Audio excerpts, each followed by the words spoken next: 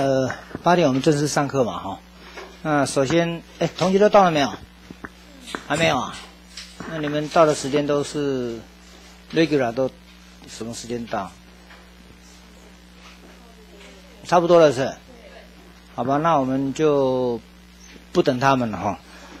呃，首先我要解释一下，上礼拜啊是我的课哈。啊，上礼拜为什么没有来上课？主要是。安排的老师啊，那安排的总医师啊，没有把课表给我们哦，所以我们大家来上课的老师都不清楚。那我刚好上礼拜啊，又到汀州去辅导支援，所以赶不回来，那很抱歉哦。那因为安排课程的这个这个总医师啊，没有把课表给我们，好，那这边跟大家说对不起哈，还是要我们上礼拜我请了另外一个医生来上课，所以把这课表调了。啊，这个课是原来是上礼拜上的。好，那我们这礼拜啊，呃，就把上礼拜课程啊延到这礼拜来上。那所以我们这礼拜的课程，呃，在病理学里面呢，我们安排了一个一堂课是有关于这个病理检呃病理标本哈，它安全性的检体处理与标明检体哈。也就是，我们在临床作业里面呢，啊，有关于要检验的东西，啊，这检验的一些标本也好。啊，简体也好，啊，样本也好，怎么样让它呃兼顾到一个安全性？哦，安全性的简体，就是这简体啊，能够是安全，security 要够，啊，不会遗失掉，那不会被调包。那再就是我们简体的标明，怎么样 identify？就是怎么样来确认这个简体是 A 病人的是 A 的简体，B 病人是 B 的简体，哈，那这是在。病理简体里面相当重要的，那为什么呢？我们常常一天拿简体相当多，那临床病理一天三千多支简体，天哪，三千多点在医院里面转，一天这么多的简体，哪一只是哪一只的？那不能掉一支，啊，也不能多一支，也不能少一支，那也不能把这简体啊 A 放到 B 张冠李戴哦，所以这个呃它的标明很重要。那第二个安全很重要，我们啊。一千一天呐，三千多只简体，那不容许掉一只，不容许遗失一只哦。那今天有三千个检检验 order，那我们需要有三千只简体到这里来哦。这是在临床里面所要求的两个字：第一个安全，第二个标明。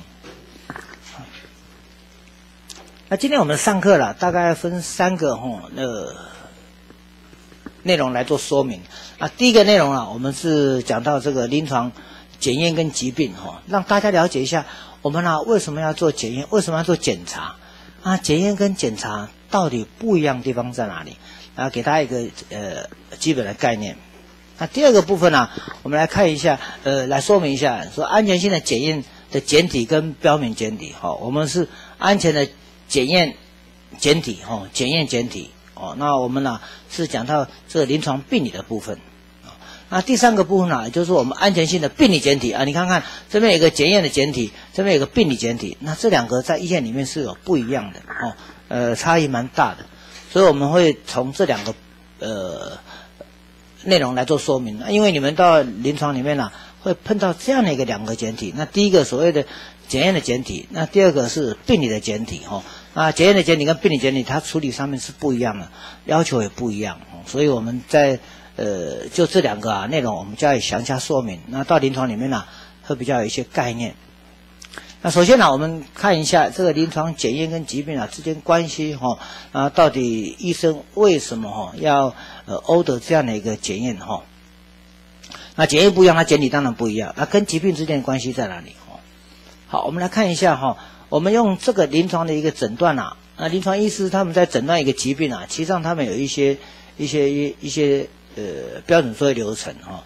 那第一个，那在看诊的时候，首先要了解到病人的主诉到底有哪里不舒服。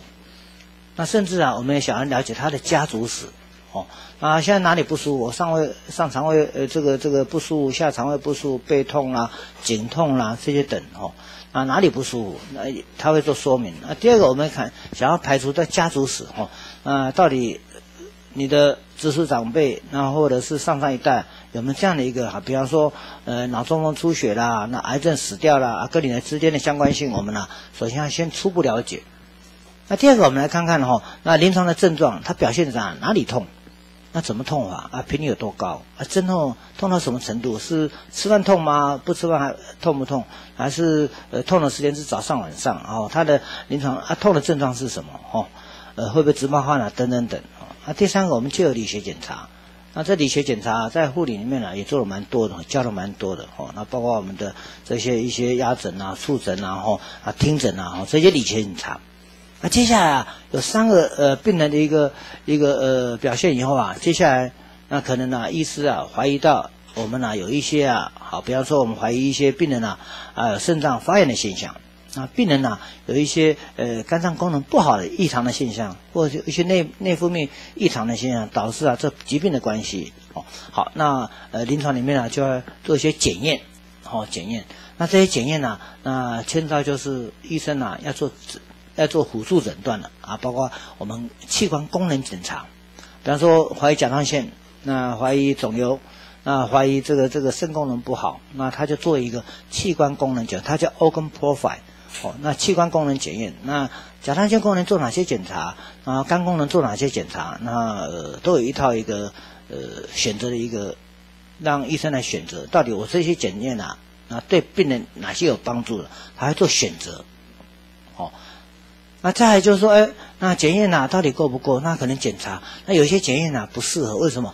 啊，如果病人是一个骨折，那怀疑到髋关节 hip joint 有有有有有因为癌症啊被吞噬了，那所以啊，呃，他会做一些检查，哦啊，包包括那这些检查呢，呃，可能在检验的一些限制在检查就会被应用上，那这些检查可以提供一些 X 光检查、核子医学检查、那超音波的检查、内视镜的检查、肺功能的检查。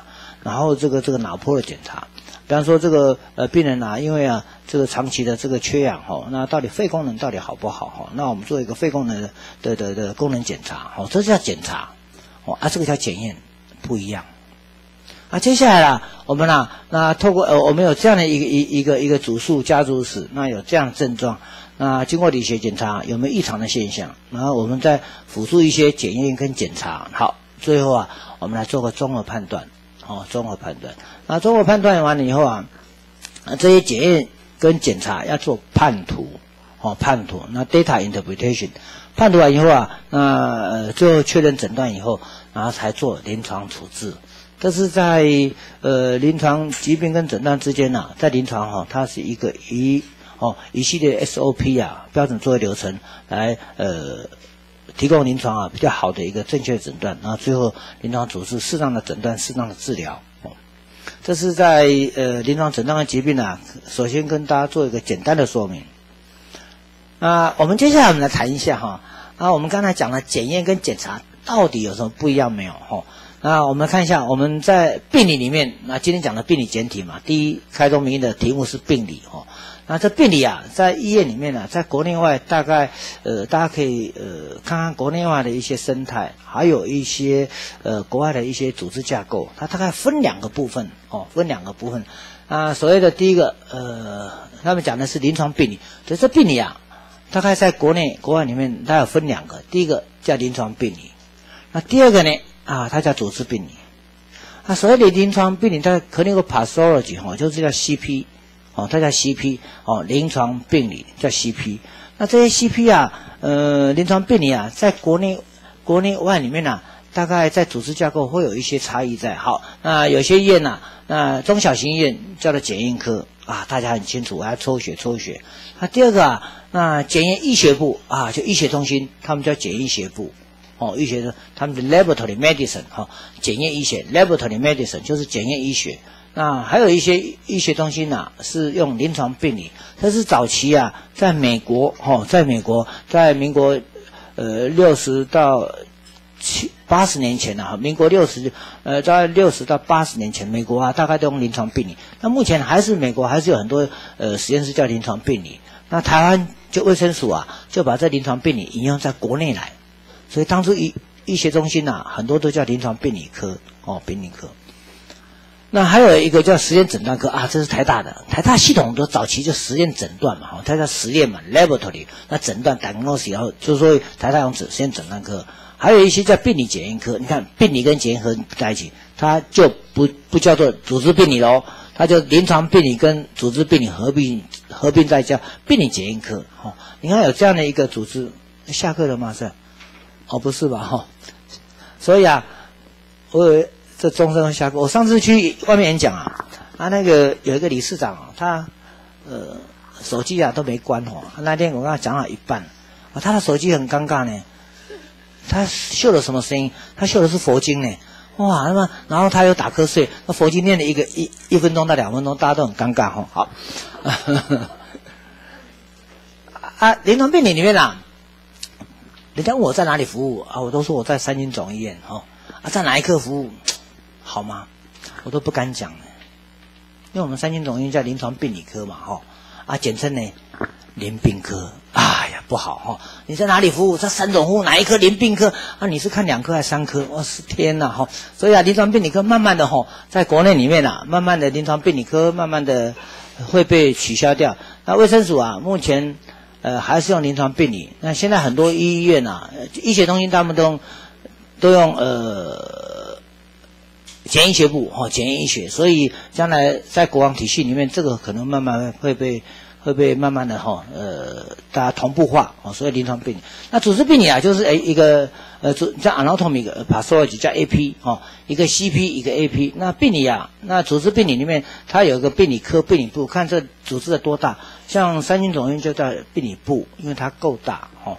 那有些叫病理科哦，所以你可以看一下，我们呐病理里面呐有临床病理，有组织病理啊，检体就不一样哦，检体会有差异啊。安全会有差异，哈，然后这个这个呃标标示也会有差异，所以这是呃在国内里面呢，大家首先要认识到底你是在送临床的病理，还是送组织病理，哈。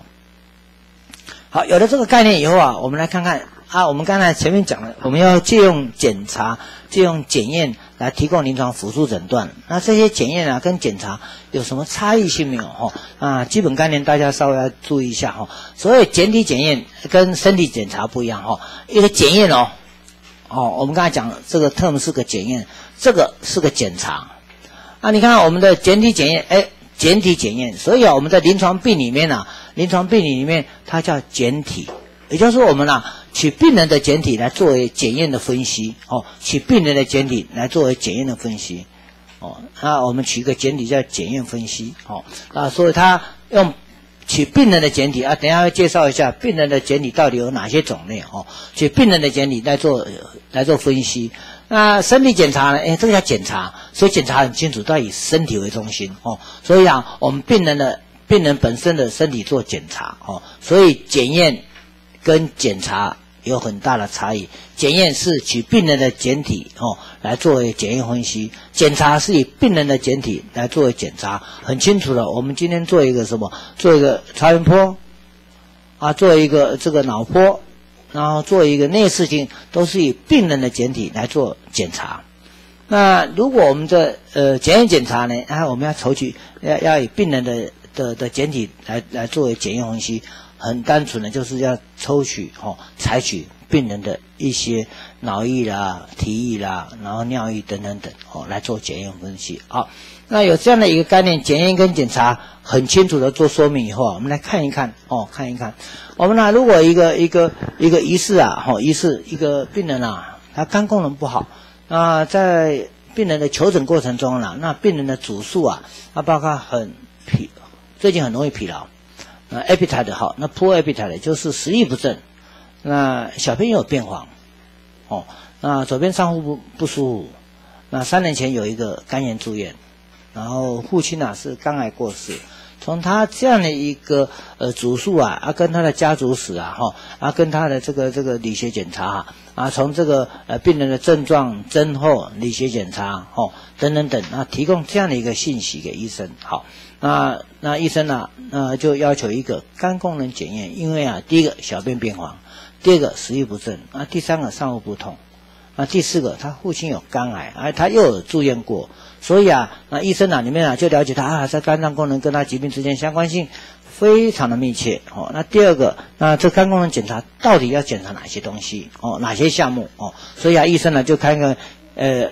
呃申请一个肾呃肝脏功能检验哦，来来来做呃分析，然后再做数据判读哦，这是一个检验。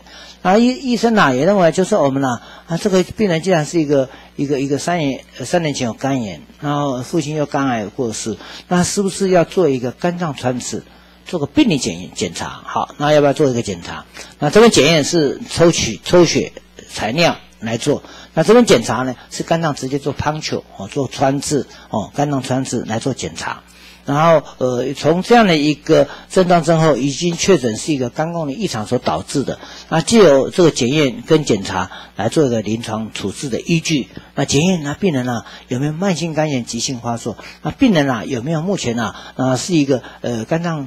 呃，硬化的现象啊，病人有没有肝脏坏死的现象啊？甚至啊啊，病人啊有没有这个什么有没有一个呃肝脏恶性肿瘤？好，那就有检验来做鉴别诊断啊，就有检查来来做确诊哦。如果今天呢要了怀疑怀疑到啊病人啊有没有目前啊有没有一个早期啊这个这个肝脏恶性肿瘤出现啊，我们就有检查病理检验来做哦。那呃病人的肝脏啊合成能力好不好？然后肝脏的这个这个呃呃病人营养状态好不好？那肝脏是属于急性肝炎、慢性肝炎，或是肝硬化啊，就有检验来做诊，来来来做呃确诊哈，那就有检查来看看病人有没有恶性肿瘤，那这样的话对这病人来讲是有帮助的哦。所以啊，我们在两张 slide 来强调一下，什么叫检验，那什么叫检查。所以啊，我们把这个检验呐，那跟呃疾病之间关系啊做个说明哦。那也强调了一个什么叫检验，那什么叫检查哈，做个详细说明。那有了这个概念以后啊，我们大概呃接下来的内容会放在一个检验。那第三个部分用呃临床检验哦，啊这个病理检验的检体来做处置哈。好，首先呢，我们来看一下我们的呃检验的部分。哦，检验部分来临床叫 CP 哦，临床病理的检验的简体的部分，然后等下来看看那个组织病理的部分。好，那我们来看看我们的这个呃检验流程。哈，检验流程，你可以看一下，我们要申请一个临床病理检验，呃，按照刚才那个疑似肝功能的呃病例啊来看一下，那医生啊就会开立医令。哦，开庭，我要申请肝功能检验。好，那就申请一定，一定完以后呢，那单子开了以后，那病人同不同意去抽血，很重要哦。如果啊，病人认为啊，我不需要检查，那就把这一定不去到临床病理科，那表示说他取消这个一定。那病人因为我们要呃要知情同意嘛，然后要病人要要要有什么，要有善情告知。责任啊！如果病人啊，呃，不做检验，那对不起，他就不来。如果他只接受哦医生的这样的一个规定，好，那就病人就要做准备。那开庭医诊过程中啊，那呃护理人员或是医师啊，就跟病人讲啊，你做这些检检验啊，那必须要空八小时，哦，然后这个检验啊，前三天啊不要喝酒，哦，生活正常。那当天呢，不要喝水，我们来抽血哦，要 NPO 八小时啊，空腹八小时哈，来抽血。那早上到临床病理科去抽血，哦，约个时间好。那所以啊，我们的开医令完以后，病人要检，要要要做检验，检验完以后了，那这开的是一个抽血检查跟收集尿液的检查。那收集呃血的检查里面呢，那就是在检验人员呢，他会采取一个简体收集，因为他做一个抽血的动作。然后他抽什么血？抽静脉血。那抽多少血？他都有一些规范在。好，那简体收集完毕以后呢，我们就要就简体运送。那一天呢，在门诊的病人呢，做上千支的简体。哦，因为他到门诊来，那住院病人有一两千支简体，这么大的量的话，那我们呢，呃，在门诊收，收完以后运送，运送过程中啊，就很容易漏失掉，哈，也很很容易这简体遗失掉。所以我们运送啊，要求品质，哈。好，那运送过程中啊，那送到这个这个临床病理科的接收的一个检体中心，我们有一个检体处理中心，专门在收全院的，一天呢三千支检体的一个呃检体收集中心哈。那检体收集中心收集了以后啊，那他就要处理，那处理就是送到各个实验室去。哦，那送到各个实验室去的话，那实验室好，那这个部分你可以看一下。这个部分都是在外面作业哦。那所以我们呢，呃，在分析过程中有他们把它称为一个分析前的作业哈。好，那这个前提啊，怎么办呢？要送到实验室去，那送到实验室去就是说在分析中。那实验室拿这个简体来做分析，包括他肝功能检验做了十二项检查，哈，那包括那肿瘤标志也在做了，肝功能合肝脏的合成能力也在做了，那肝炎的指标也在做了啊，分析分析完以后呢，那报告就出来了，出来以后他要做什么？要报报告确认，这报告到底准不准？到底正不正确啊？他会会做一个确认动作。哦，那如果报告正确的话，他就把它释放出去。那二十四小时临床医师啊，在呃 Intranet 里面可以查到报告。那如果报告当初啊是有有有有余力的时候啊，他就会做一个什么？会做一个呃再 repeat 哦，再重新检查哦，重新检验哦，看看这报告是不是一致性。啊，如果报告一致性，我们就发出去，发出去报告啊，哈，那临床啊，哦，那就呃利用这样的一个检验数据，刚才在分析中的数据，它利用这个检验的数据来做判图，来做一个临床处置的依据。所以啊，你看看在临床病理里面的作业流程相当复杂，它有三个构面存在。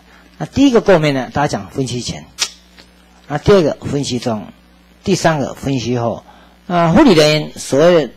碰到的构面是在这里，啊，医生开了医令以后，要交给病人，要交代病人啊，哪些是他要遵守的啊，让病人来准备，然后请他到哪里去收集，哦，好，那这个部分的话是有护理人员、医师，还有什么？这里还有传送人员，因为住院还有传送人员，所以你看这边碰到医生，碰到病人，碰到护理，哦，然后碰到传送人员。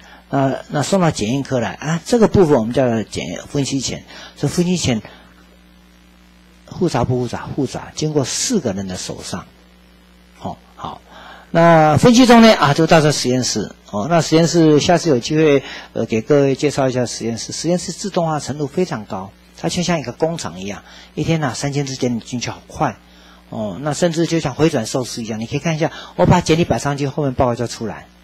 哦，只是时间的长短而已。哦，像目前实验室可以涉及到这个哦，回转寿司的这个作业模式。哦，啊，这要花钱，哦，花钱。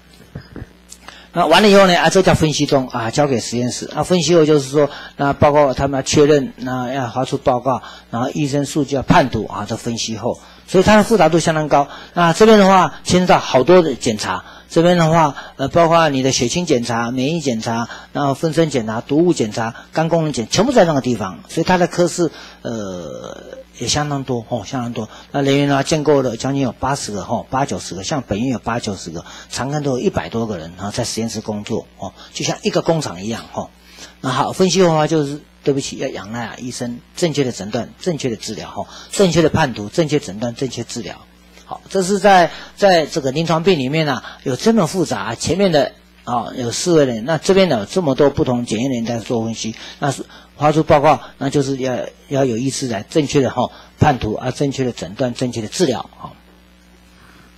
所以啊，我们的临床这个呃检验啊，那刚才讲我们的检体啊怎么办呢？哈，你要做检验嘛。所以啊，我们在检体收集要告诉病人啊，你到底要是收集尿啊，收集血哈，呃，或者抽血哈。那所以临床的检体里面种类啊，大概第一个血液哦啊占了最多哈，占了七八十 percent 左右哈。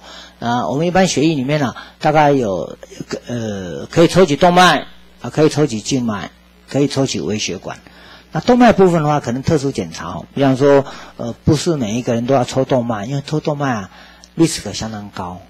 啊，所谓 risk 都，第一个它会感染，第二个它会出血，啊，第三个这个这个这个它会造成栓塞，哦，等等的好多这个并发症对病来讲是不好的。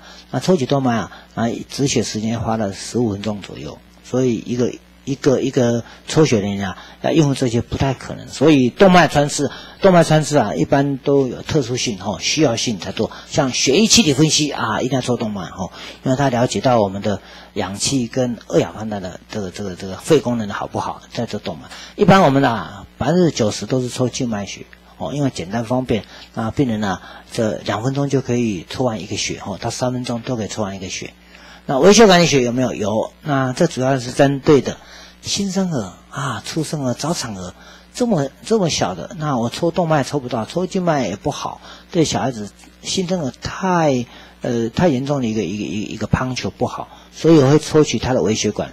那成人部分呢，我们会抽什么啊？成人部分大部分都肥胖的啊，肥胖的，一百一一百多公斤，甚至啊动脉静脉摸不到的，那我们会会抽这样微血管哈。那微血管当然对一个肥胖的人来讲啊，它是比较简单取得的。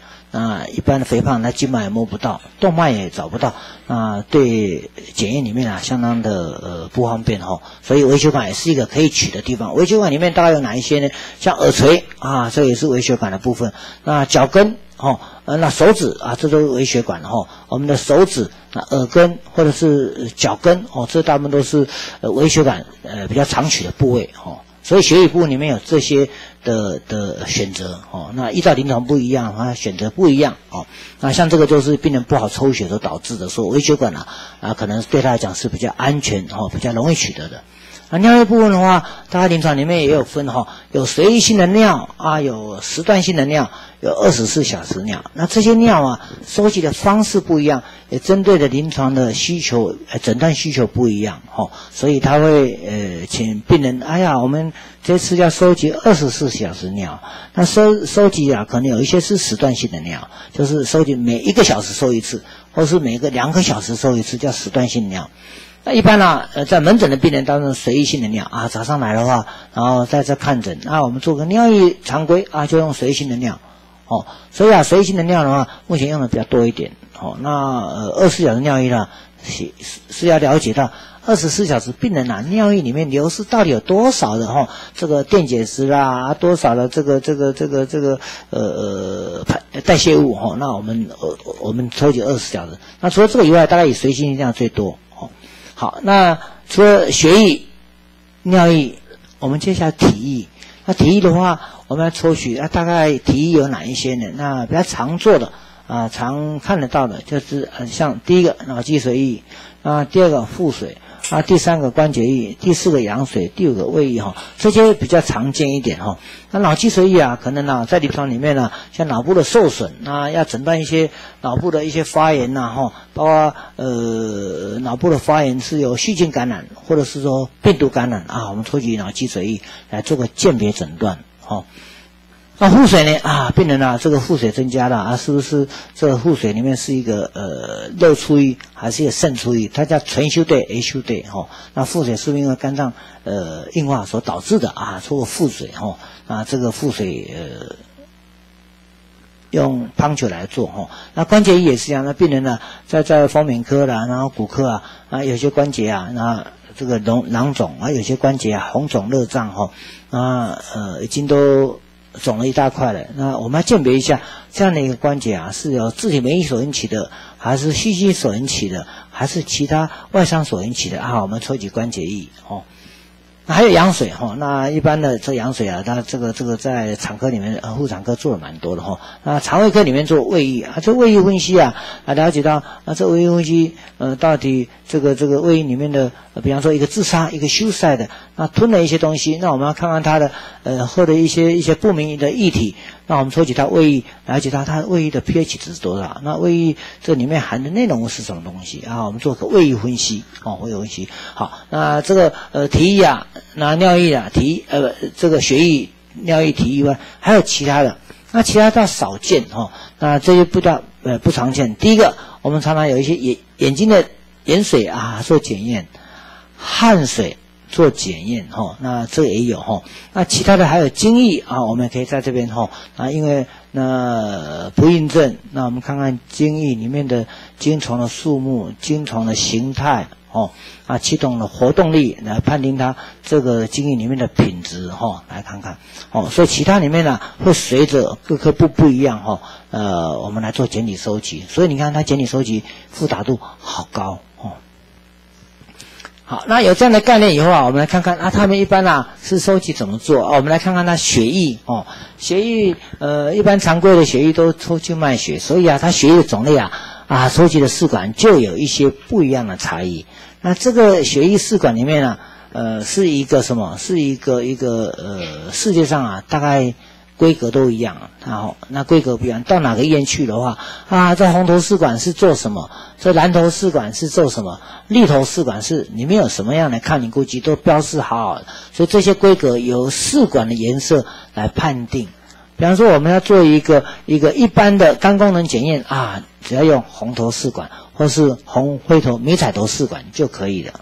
哦，那如果我们要看看急诊的简体啊，我要看看急诊肝功能，因为病人昏迷啊，病人这个糖尿病昏迷啊，病人呢这个心肌梗塞昏迷在急诊室，那我们要做一个急诊检验啊，对不起，一定要用这个立头试管哦，那立头试管啦，速度快哦，速度快，那呃我们要感到时效性哦，那如果你现在做个 CBC 哦，要做血球。技术哈，红血球、白血球血小板的品质跟数量到底够不够啊？我们用什么？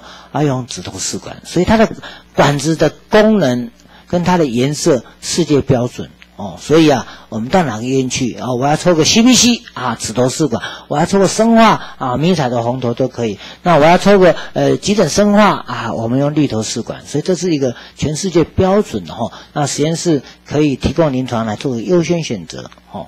啊，这边呃，这边还有一些哈，呃，这个这个这个呃，还有一些特殊的这些这些试管啊，会有也会有不一样。比方说这些试管啊，那可以做一个 blood gas 哦，做一个血液气体分析，然后再做试试管它都生化的试管，这是一管两用哦，有一管两用哦。那像你你要抽 blood gas 的时候，那抽完以后啊，那还要做生化，那对不起，你要抽两管，那这个就一管就可以。呃，解决病人的两个需求哦，所以你可以看一下，我们啊这边有不同的试管，那不同功能，那要正确的选择哈。啊，尿液呢？啊，我们刚才讲说血液最多，按尿液次之哈，尿液大概占了百分之十五到二十左右哦，十五到二十左右，血液占了七八十 percent，那尿液占了十到二十 percent 的简体的呃的种类哈的数量，所以啊，我们在门诊病人、住院病人，尿液的收集容器会有一些区别在。哦，因为它的便利性跟它的安全性哦。那我们对门诊的病人啊，我们刚才讲说啊，我们随机性尿液是最多的收集方式啊。病人去小个便，然后我们送个尿液常规检查，来看看这个呃尿液里面呢有没有石头，还有没有出血，有没有发炎啊，有没有什么，有没有这个这个这个呃其他的那个结晶出来啊？所以啊，所以病人做一个随机性的尿液，所以啊，我们就会给他一些纸杯。哦，啊，倒在试管里面，哦，会给他一些纸杯倒到试管，哦，所以啊，病人啊，我们会给他纸杯，因为收集方便，哦，啊，如果真的每一个人都是十五岁、二十岁的话，那这试管一定很准的可以撒进去，所以我们在很多医院里面啊，全国的医院、全世界，他们都会给他一个哦小杯子来装尿，哦，装尿。然后倒在试管里面来做一个交给哈呃检验科哈检验室来哈，所以我们用纸杯来收集倒入尿液试管哈，它是单次尿随机性的尿。那病人啦，如果要收集二十四小时门诊的病人怎么办呢？因为他要运送简体啊，要要这么远哈，所以我们要安全性，所以我们早期啊早期都要送一个管子给他哦，送一个这种桶子给他，它是干净的。干净的、干燥的，不要无菌哦，无菌。那这是干净干燥的，那有塑胶盖，它可以放差不多三千 CC 左右，那个桶只有三千 CC 的的容量。那我们像病人在二十四小时都小在这里，哦，小完以后啊，要把桶子送过来。那现在啊，慢慢的越来越方便性，那桶子啊，环保啊，一天呢，我们有一百多个病人在做这个，哇，一天一百多个桶子丢，好可惜。那一个桶子二十多块，好贵。环保不好，又浪费钱，所以目前呢，我们慢慢会改用一些纸筒子哦，纸筒，有点像哦，你们去去华乐呃华乐维修里面看那个我们吃爆米花的筒子一模一样啊，它爆米花筒子里面呢，我们里面呢有一些塑胶袋，把它呃保持不会把纸袋子啊纸盒子呃呃撕掉。那第二个我们有盖子，第三个外面我们有刻度，让。他们都可以记录一下他们的尿量，啊，最重要就是说，我们呢这个收集完以后，病人把这个桶子倒出来以后，很重要的，他只要放在这个管子送来就好了，哦，所以很方便，放在口袋就可以送到三军总医院。但是这个桶子啊就要带来，所以你可以看一下，我们呢早期啊在在在哪里，在呃公车上面然后我们在呃公车上面，然后我们在计程车上面，很多啊提的桶子都要三斤桶来，因为它是二十四小时尿桶哦，所以对老人家二十四小时这样提的这么重也不好哦，不好。那住院的病人啊，哦后来改改用纸的容器以后，看起来效果就不错哦。那接下来我们的住院病人怎么办呢？啊，住院病人一样哈，我们住院病人用直接哦用这个来收就好了哈。那干净干燥的塑料杯单次尿，它干净干燥塑料杯有点像我们吃那个什么，你看哈根达斯的这个这个那个冰淇淋有没有那种小盒子一样？我觉得病人小在那里面有螺螺旋盖盖起来，那简体不会掉，不会流，不不会。溢出来哈，不会溅洒哈，所以是安全的哈。它是有盖的塑胶容器，有有点像哈根达斯那个一样哈。那如果单次尿实际上我们还是给他这个东西。所以你看一下，我们门诊病人啊，跟住院病人收集的方式不一样，收集的容器也有一些限制在。那主要是这个限制是要保护它的安全，保护它的什么标明明白标示哈。好，那既然呢这个容器啊不一样，我们接下来我们怎么样来做一个安全性哦？安全性哦，那标示哈，那明确的标示跟它安全性，那安全在哪里？标示在哪里啊？我们从临床病理科的简体来做说明哦。啊，所以啊，在三金总医院呢就建构一个简体条码追溯系统哦。三金总医院啊啊最早建过一个简体条码追溯系统，然后我们是用在什么简体？采集跟运作过程，啊，这个是我们三种大概国内第一家哦，呃，自己研发的一个一套软体，然后呃，我们也得过国家行政委员品质奖，哈，看起来有得到奖，得到奖项，那蛮多医院来做标杆学习。那这主要是什么？我简体啊没有检验单了，也就是我这个单子啊都不用开了。医生啊，呃，在开医令的时候，我们传统都要检验单嘛。那现在在住院病人都没有检验单，所以一天呢，我可以扫掉两千张或一千五百张、两千张的一个检验纸张 A4 的纸，好可怕！一天扫掉两千张，我说 A4 纸都可以扫掉了。那他见过什么？我们见过一个条码，所以在住院病人里面呢，我们呢没有检验单，只有用一个条码，那这个条码便于追溯。所以讲，我们呢，这安全在哪里？安全在哪里？我们安全很明确的标示。我们见过要看这个简体的品质好不好，我们要管控它两个。第一个，管控它的值，这简体的品质好不好？第二个，简体的数量对不对？所以简体的品质，我一天啊三千只简体，那简体的品质呢？那有些尿液啊，必须要在半个钟头之内分析完毕，必须要在半个钟头之内把报告发出去。哎，这简体适不适当？那有些检体是在一个钟头之间要发出发出报告，这检体适不适当？哦，所以啊，我们需要管控它的品质，所以由这个监控系统来看，它检体收集到运送时间，我们可以按的 Ctrl 哦，这是我们必要的哦。量的部分呢，熬一天三千之间的，我不容许一次掉，啊，不容许什么脑积水一掉，不容易腹水掉了，不容易什么关节一掉，那因为病人抽完油就已经没有了嘛，你再怎么抽呢？所以啊，这些这些这个这个这个呃量啊，我们不容许一直掉哦。像脑积水液啊，从新生儿抽出来的，抽起脑积水液，那你说不见了，哇，会会会会抓狂。第一个对病人没办法交代，那病人安全也没办法交代，对医生来讲更没办法交代。我要立时诊断，即刻诊断，即刻治疗，要不要用抗生素？我要看这个报告，没有报告完了。哦，所以啊，我们呢在这个检体追溯系统，我们监控两个，这个检体的品质，我们看它的量。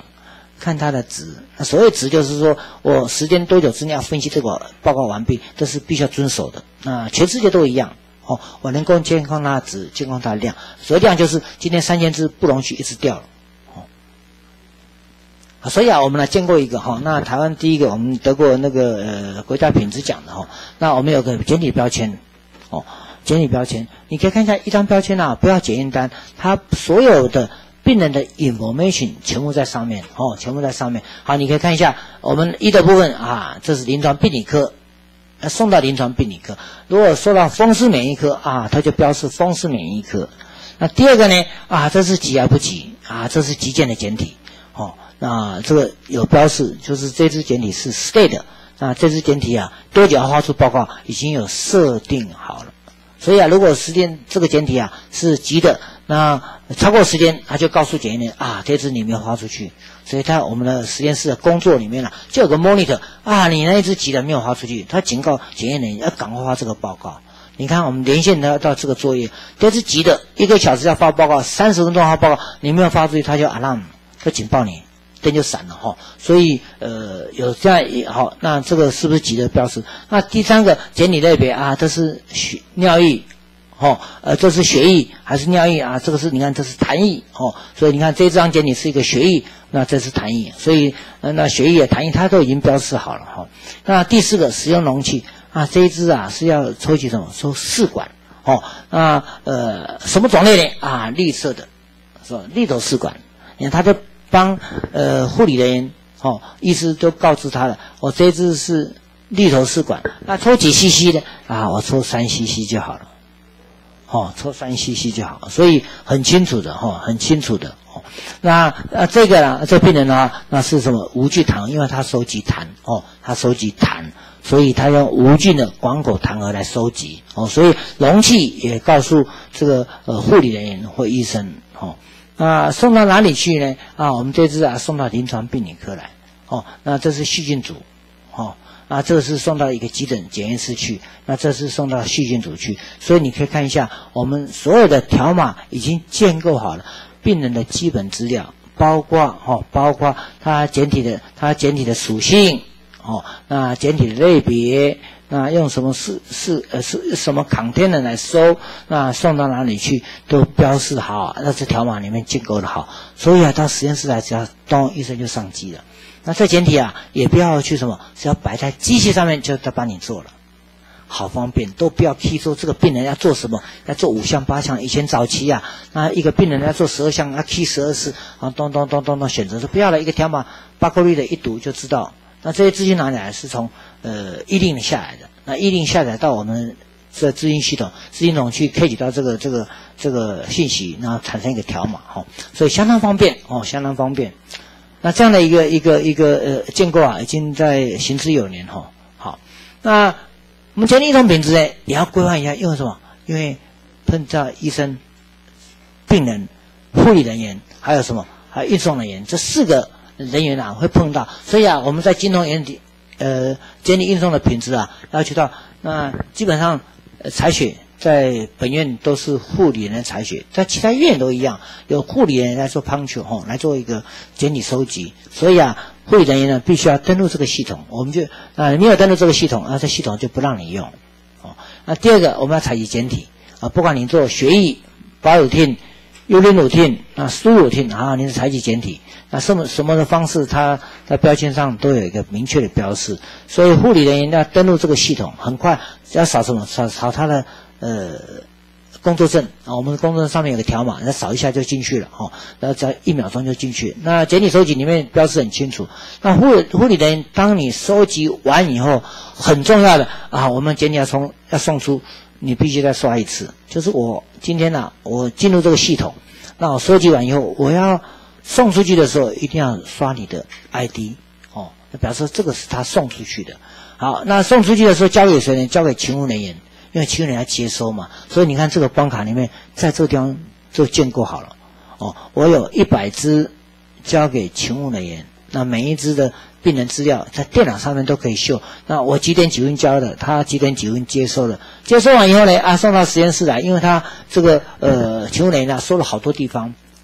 好，还说好多地方，所以啊，他必须要经过很多地方，所以他从这里到你这边都要经过十五分钟左右哦。所以你从病理科来呢，我们临床病理科这边送一百支给他，他交一百支给我们，而且要明确哦。那我们人员不计数了，不用数了，那只要一下架一签收完以后啊，那有没有一百支很清楚，因为简体跟那个呃上面的 count count 就很清楚的标示哈。那确认一百支复合，复完以后我们就。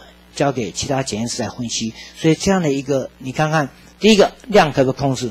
第一个，我们呐检检体品质啊，什么时候送出来的？那多久分析？这边这段时间可以看控制它的值。量呢？啊，从护理人员交给勤务人员，勤务人交给呃这个这呃临床病理科哦，然后签收完以后交给各组。那各组啊怎么办呢？今天三千支检体我交给。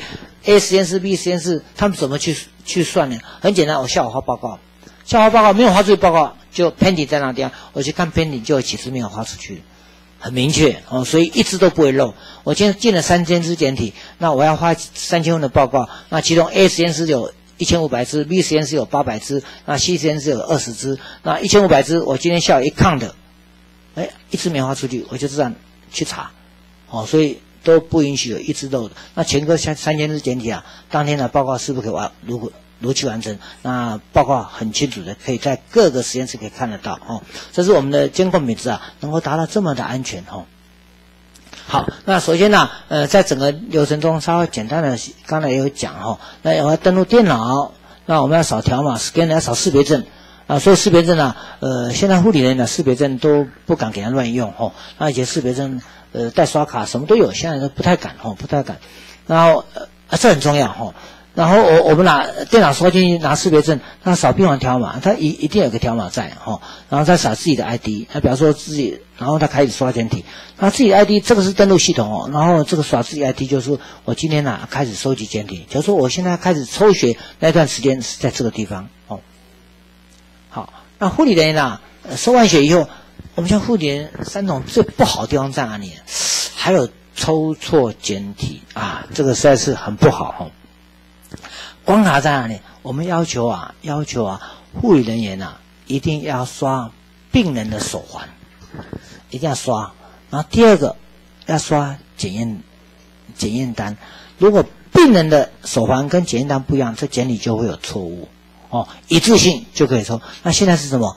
他们都没有呃呃刷病人的手环，那直接刷那里刷检验单，哦，刷那个那个那个那个欧的哦，直接刷，那这个这样不好，这样的话会造成病人跟检这个抽血检体都有错误。像目前呃要要求护理人员一千三百位啊，要这样遵守啊，好困难哦，好困难。那国外里面呢都严格要求，你不刷手环，不刷这个这个那个条码，不刷手环不刷条码，对不起，如果呃，没有 match，这个血都不能抽，哦，他就电脑就锁掉了。但是国内啊，看起来这个系统看起来还要再长进的地方，就是护理人要配合哦，配合好。那这一段我们在慢慢在努力，有慢慢的减少哦，慢慢减少。啊，他们一直在讲是太忙太忙太忙，啊，真的很忙哦。然后要他们刷病人手环，那有个限制在哪里？因为我们的。护理车啊，好大，要进去病房啊，不简单，所以这个也是个瑕疵哈。那我没有一个移动式的哈，像这个这个这个 iPad 哈，直接这样刷不太可能哦，要花很多钱。那有一个护理车进去，那护理车这么重啊，又病房有些推不进去啊，问题就来了。所以他有这个理由啊，所以我们鉴定目前还有一些错误在哈。好，那病人护额简体一样哈，那前体检护额扫描以后，那核对简体出来，这个很简单，这个我们都帮他标示好了哈。啊，简体的百字很快，一百字在一一秒钟我就知道有没有一百字哈。然后呃，可能呐有一些简体啊，那护理人员他没有刷，他直接送走了。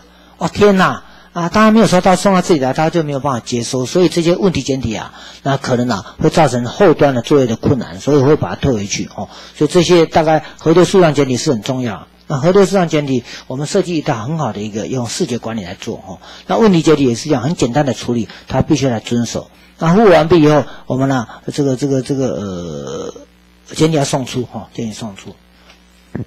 那简体送达一样，我们这边一样哈，流程一样，我们到各科室核对哈，我们开始刷简体。那简体呢，现在目前呢，管理里面啊，对这个大量简体啊，没有像物流公司一样，它用 RFID。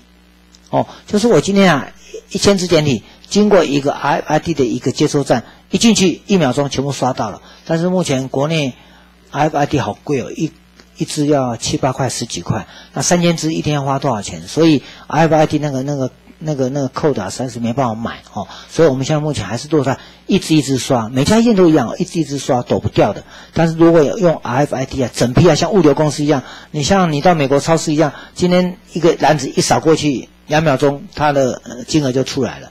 那我们要有 FID 的那个每一个要贴一个那个那个 FID 的条码，就好贵，一个要十几块哦。啊，确实没办法承受这么大的量。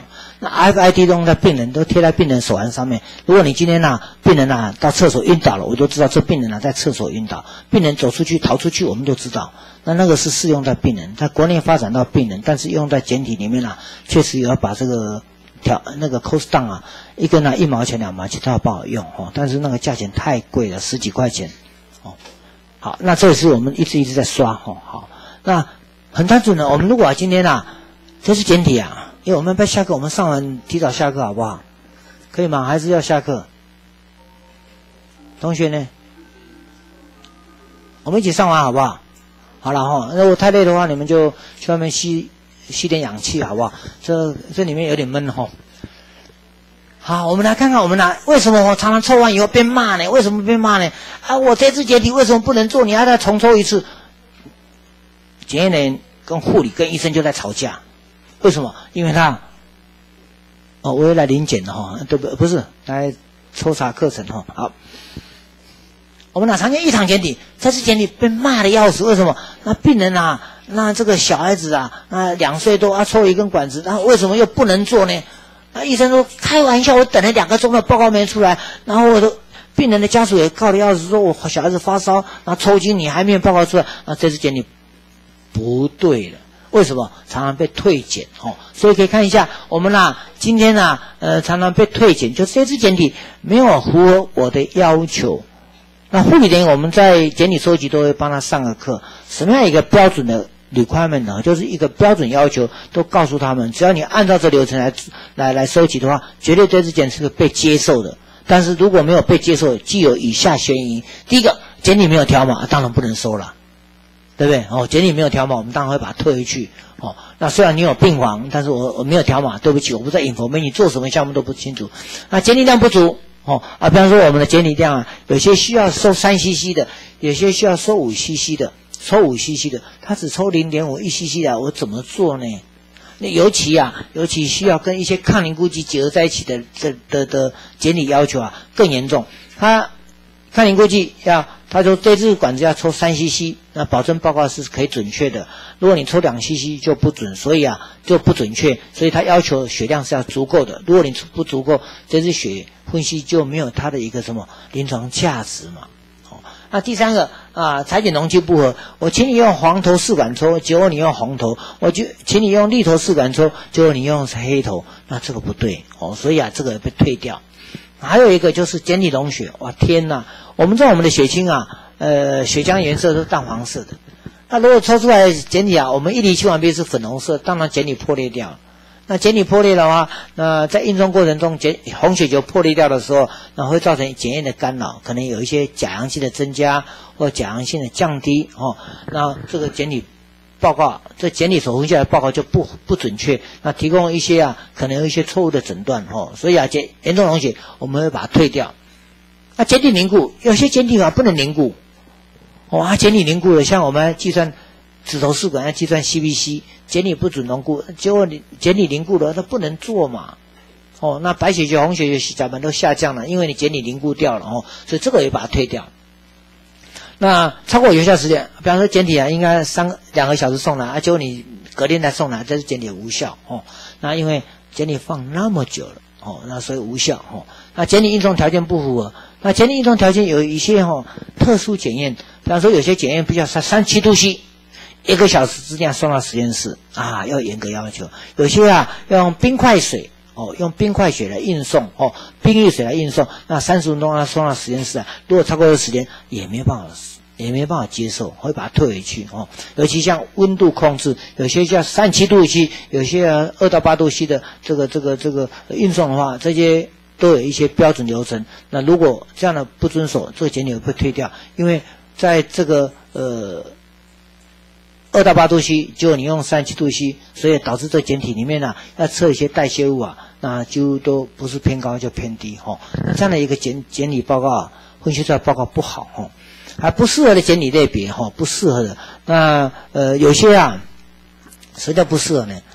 啊有些这个粪便呐，那我们要看寄生虫。那病人啊是一个拉肚子拉了一袋了三百 CC 的水便，那这个检验呢就很难处理哈。那不适合的检体，那甚至啊有些啊是病人，病人什么？病人因为自杀啊喝了一些不明的药啊吐出来的检体，那不管是从胃里面抽出来的，不管是你们呕吐出来，这些检体里面。混合的一些食物，那一些呃不明液体，那再加上这个这个里面的一些呃胃里面的一些组织在里面，所以这个简体啊在做分析粘度太高了，那稠度太高了，那。看不到它的什么离心也离不下来，所以经过消耗，所以这简体也不太适合。那机器啊，都一进去就死翘翘，为什么被阻塞了？哈，还检体污染，哈啊，试管破裂啊。如果这边送来的话，试管破裂，因为不小心呐，那呃运送过程中掉到地上，那掉到地上，因为运送人不小心掉到地上，所导致这个试管破裂，啊，这个也不好，哦，这没办法分析，哦，所以裁剪的污染，比方说我们要做个血液气体，呃，血液培养，要看看这病人啊。那呃，这个我们来做一个血液培养，比方说病人的肚子啊，已经已经有一个呃后面有个 bed sore 哈，有一个乳疮。那我们看看这乳疮啊，到底这么深，那到底什么样细菌感染的？那我们就在那个地方呃，把它做个什么？呃，因为它有个脓脓泡在嘛，我们抽出来到底是阳性的。的葛兰是阳性，葛兰阴性的球菌或杆菌啊来做感染，所以啊，我们呢会会会在抽取，但抽取过程中如果呃抽取的技术不好，会造成检体的污染哈。那你到底要培养什么东西？那可能正常菌都在里面，那呃异常的这感染细菌没在里面，那这个检体污染就不好了哦。那甚至我们要做 blood culture 哈，就血液去呃血液的培养，那病人呢怀疑这个有一一些这个这个这个败血症。那看看这是阳性的的的，可能是阳性和可能是阴性。那什么样先抽，什么样后抽都很清楚。那护理人，呃，抽血标准流程不对啊，会造成检体污染哈。所以你看这些，各位，我们呢退检原则啊，大家必须要遵守，否则这病人啊倒霉，再挨第二针，再抽第二次。那第二个，那病人啊，这个家属啊气得要死。那第三个报告延迟。那第四个医生啊。会会什么？会要求尽快要给报告，因为病人要治疗，所以都有一些不不好的这个这个这个这个后遗症出来哈。所以啊，呃，以上这些我们必须要尽量减少哈。那国内里面呢，大概我们现在目前降低到很多了哈。呃，检体。检体量不足，我们的标示很清楚，三 cc 它只要抽够就好，所以这个都可以检讨。然后容器不对，我们也标示好了。啊，检体凝固都有标准训练，然后这时效性都有送哪里去哈。然后呃不适合检体也不会，因为说？我们都标示好了哈，标示好了，所以这些检体啊，大概百分之八十哈，百分之八十都在呃资讯条码里面告知。那百分之二十是必须要用教育哦来训练，比方说我们这个这个兵役等等等哈。那兵役呃多久送来？那这必须要一些规范在哈。它上面我们也写兵役，呃，但是他没看到哦，所以造成很大困难哦。好，那我们的安全性的检验检体啊，我们稍微花点时间呢，把它详细的讲哦。那我们不需要哈，呃，这检体啊送来以后啊，这是检体不好，品质不好，那数量又错。那检体品质不好，就是你只要符合。条码上面的要求，几 cc 用什么样收集哦，然后这个这个这个用什么试管抽，那送哪里去？只要正确哈，这个大概都不会有太大的这个异常被退的的的百分比出来哈。那接下来我们看安全性的病理简体哈，啊，安全性的病理哈，那 AP 的简体怎么办？AP 的简体啊啊，我们在二零一一年啊，在一个水果日报。头版哦，好大的新闻哦。那主要是一个整形科的名医啊，那他被前列腺被割掉了，哦，前列腺被割掉了。那长根啊，呃，判赔啊，啊，不应该把长根应该长插了哦，这样对，那以后要改个字，长插哦，医院会比较好一点哦。他被判赔六百二十万哦。那主要这个简体啊，那这个整形科医师写了一句话，医生回我一声。哦，回我一生，因为啊，这病理啊是要病人来做处置的，那处置的话，啊，如果是一个恶性的，他就拿掉了，哦，所以啊，那这个呃，整形科医生啊，被前列腺整个割掉了啊，因为误诊掉了，好，那这既然判别，所以这是一个法律诉讼，那这张就告诉我们哦，在当时的一个最重要的哦在哪里？它简体被调包。那为什么调包呢？因为保险公司跟医院呐串这个这个这勾结啊，吼啊，因为这样的简体啊是被保险公司，就是这个业者啊，保险业者啊跟医生呐，吼呃在勾结，那把这简体调包了，哦调包了，哦那所以啊他们在判赔的时候啊，那像这样的一个一个呃国内里面啊，近十年啊大概有好几起哈，包括金方医院也会有。哦，包括私医院也会有哦，包括私人医院也有哦。那主要就是它最重要就是检体调包，哦，检体调包，你调包以后良性变恶性的，那医生看到恶性就拿掉，那造成什么？那造成。病人倒霉，不管你是什么身份类别哦，倒霉哦，所以这是蛮可怕的。所以病理切片啊，调包不调包，安全性就很重要。那临床病理跟安全性够不够？好够哈。我们专人送呃，专人这个这个运送专人的这个送车，跟那个病理一样哦。等下会介绍一下。所以啊，以这样的案子，卫生署啊，在五年前就下令全国病理要建立一套标准作业流程。来保证这个简体的安全跟明确的标示哈，所以这是我们今天要上的。呃，当初在卫生署要求全国哈，从医学中心要做起。好，那呃，临床的标本采样的嘛，哎，病理跟检验不一样哈，病理的检体跟临呃检呃临床病理的。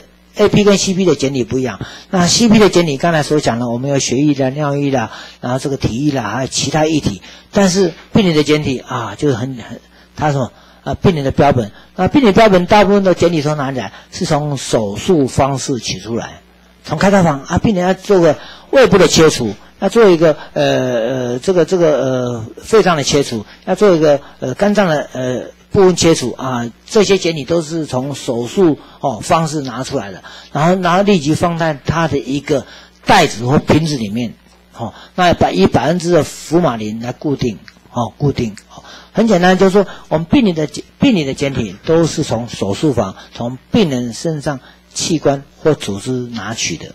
用手术方式哦，然后拿完以后呢，它必须要放在哈一个瓶子或袋子里面，等下会给秀给大家看。那临床病理的检体都是试管嘛或杯子嘛哦不一样哦。然后病理的检体必须要用佛马林，佛马林哈百分之十佛马林来固定，或者细胞变形会溶解掉哈。呃，所以啊，他用福马林来固定，来看看它的形态学不会被改变哦。那病人呢要有记录啊，固定病要记录那。两个以上的 ID，就是我我都知道，这个病人的简历一放进去以后，要两个 ID 哦来辨识哦来辨识。那是福马林的这个呃容量呢要多少？要七到十倍。比方说，我这是小的简体，我可能从胃部里面挖出来一一小小块的啊，那个福马林就大概量只要五到十 CC 就够了。哦啊，如果是大的期的，我把胃整个切除，子宫怎么切除，然后呃子呃这个这个大肠整个切除掉，哇，这个简体就很大了。甚至啊，我们上次有抱一只腿哦，啊做一个 amputation 哦，然后抱到病理部来，啊那只腿就是怎么办呢？呃，在病房在走廊不能乱抱了一只腿，大家被会吓到，所以我们就用纱布先包着，不是纱布，用一个呃那个那个那个手术手术衣先包着，那送到病理部去把它固定哦，固定。那这个福马林容容量就会相当大了哈。那固定时间大概大的件，就像整个器官拿掉，大概四到十六小时哦，四到九十六小时。呃，如果整只腿的话，可能要泡久一点。啊，如果胃切除、部分切除、跟三分之切除、跟整个切除后会有不一样哦，因为福马林它会会会让它呃侵润，然后渗透哦，那固定它的细胞。那小件大概两小时，很快哦。那我们的简体啊，要封条啊，简体要贴封条。这简体封条很单纯的，一谁放进去的谁要负责哦，因为怕被调包。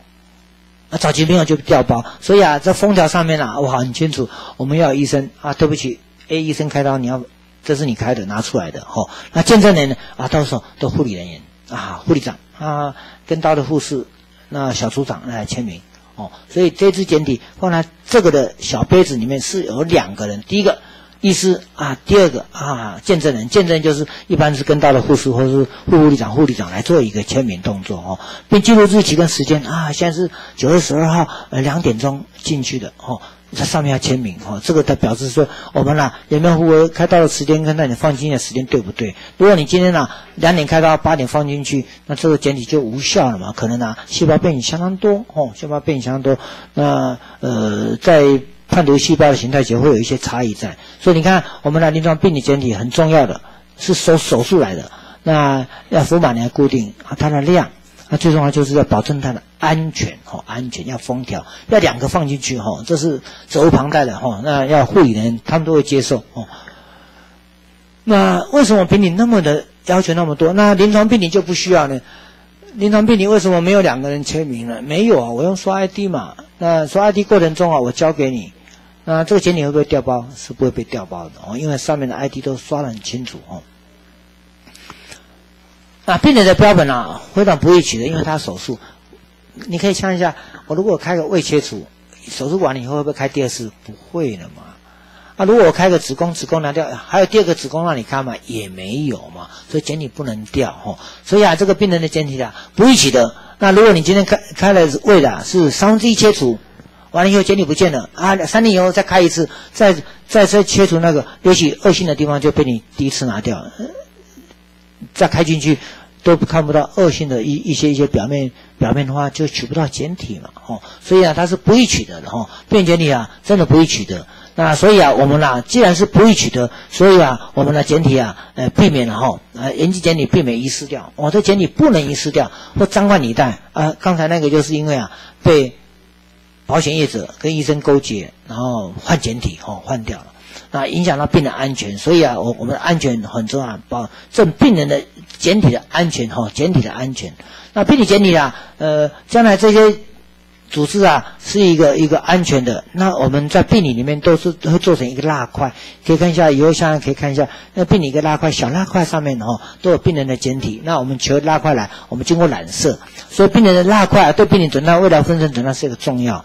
所以这个简体啊要安全，那将来在做治疗，比方说像目前的这个精准医学，那针对的个人的精准医学，那做一些呃癌症的一个标靶治疗啊，这个就很重要哦，很重要。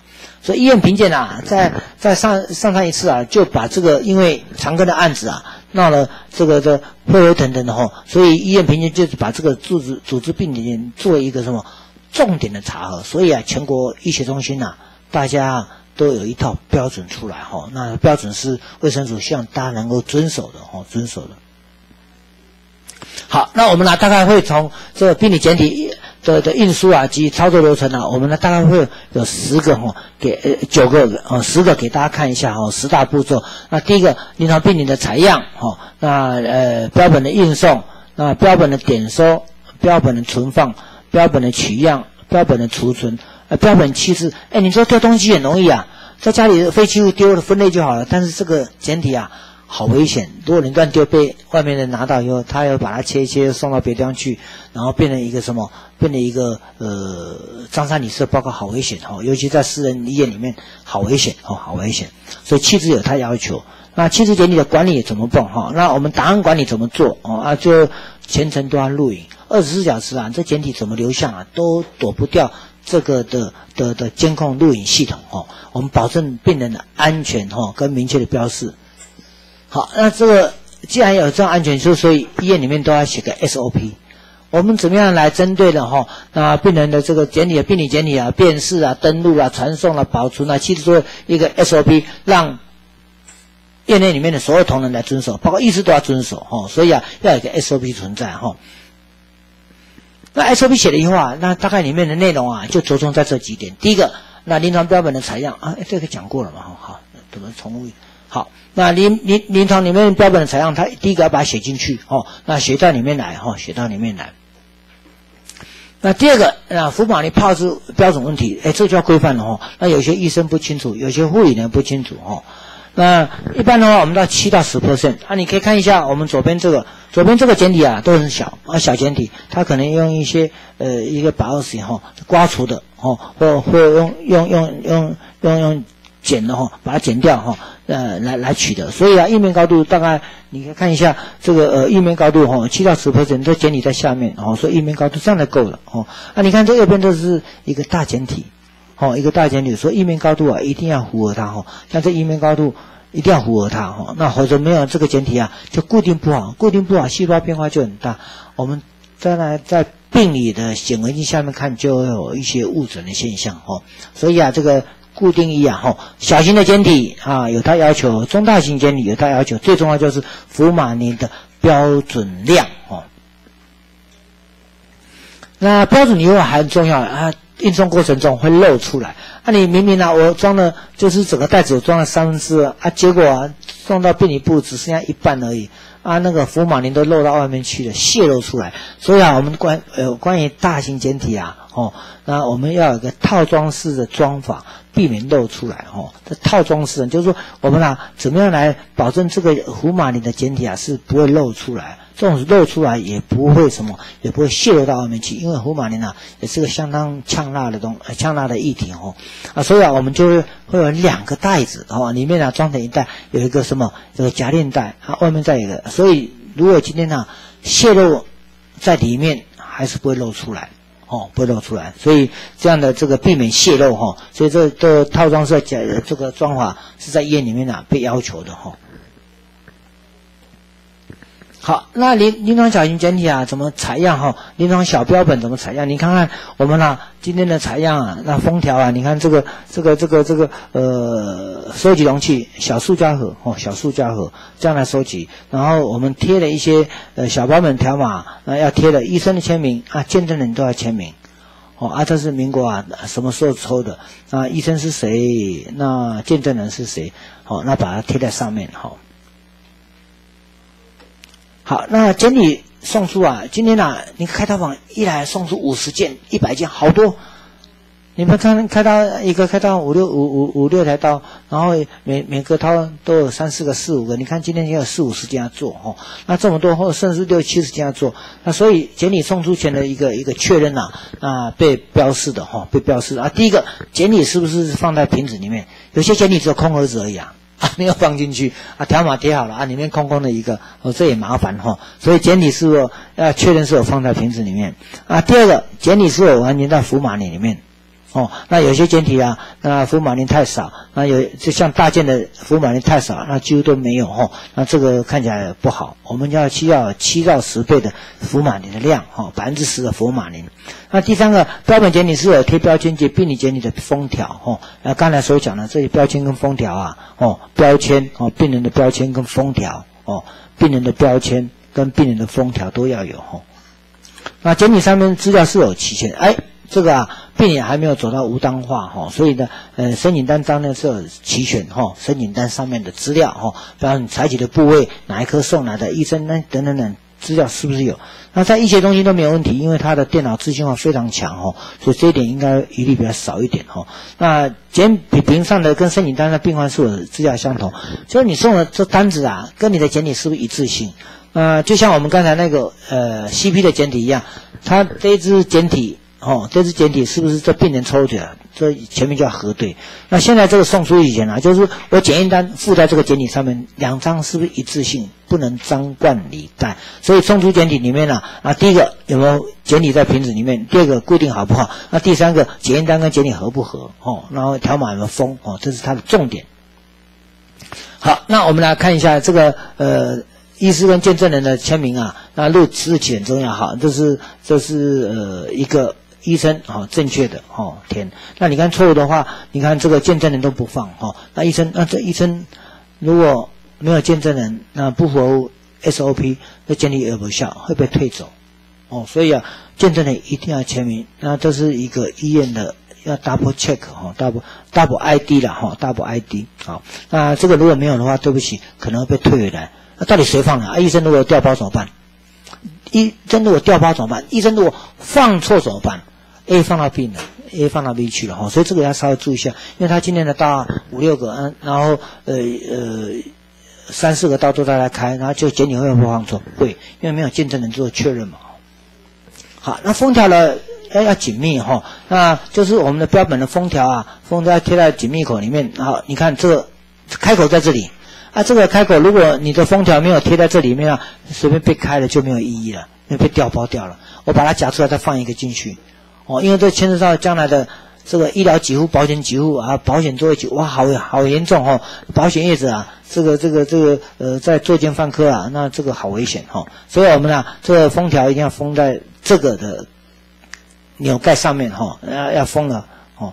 呃啊，这个封条里面呢，这个病人的资料有，啊，像这个封条把病人资料盖了就不是很好哦。那这封条里面见证人要签，医师要签名哈。好，我们看一下是哪个封条正确哈，哪个封条不正确哈。那封条在瓶盖在接合处里面，哎，这张很好哦。那你看这条，呃，他病人资料被盖掉了，我不知道这个病人将来怎么核对呢？虽然封条在这个盖子上面封密封盖，但是他把病人资料盖掉了，那将来我们再看检验单跟这检体啊，没有办法来 match 哦，不好对。所以啊，基本的呃封条跟条码应该要对。对贴比较好一点哈，封条贴在上面啊，那个病人资料贴在呃另一侧，那这样的话比较好辨别哦，辨别。所以这个常常也发生到封条把他病人资料弄出来，那这是这这张呢，因为这封条好粘呢，一撕开以后病人资料都被都被撕掉了，看来看不太清楚哈，所以这个大家要注意的哈。那大呃大标本一样哦，那也是一样，这大标本。刚才小标本很容易贴，为什么？你在这个地方很容易贴啊。大标本呢是开口的，是夹链带的，怎么办呢？贴在哪里啊？我们要贴在什么？它的夹链口上面。哦，当我夹链口被打开以后啊，这封条就破掉了。我们就用这样来辨别哈。所以啊，呃呃，大标本里面呢，可能中中小标本在一个夹夹链袋里面可不可以同时放？那有些医院可以，有些医院不可以哦。有些医院呢，那一起放进去；有些医院不可以，一个袋子一个病人哦。看看医院的文化怎么样。那最重要就是说，我们呐，大标本的封条一定要封在什么夹链。带的出口上面，当我夹链带给打开以后啊，这封条就破损掉了，表示这这支简体有问题哦，这个这个标本有问题哦，所以要贴在这个夹链带的封口处哦。那还有一个就是它有检验单，所以检验单放哪里呢？检验单不能说啊，我今天送一百件检验单集中在一起，哇，那个检验单跟简体而不合，所以啊，那在国内里面的设计它就有子母带。